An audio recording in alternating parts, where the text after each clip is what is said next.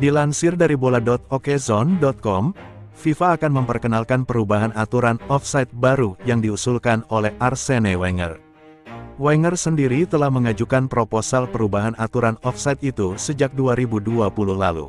Dalam peraturan terbaru, pemain dinyatakan offside jika seluruh badan mereka melewati pemain bertahan terakhir tim lawan.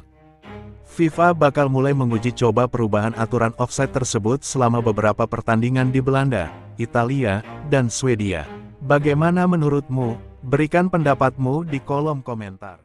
Terima kasih sudah menonton video ini.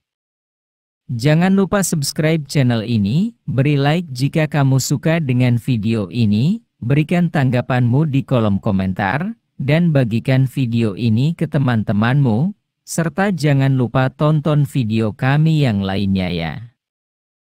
Dukung terus kami untuk berkembang dan beri kami masukan untuk pengembangan konten kami.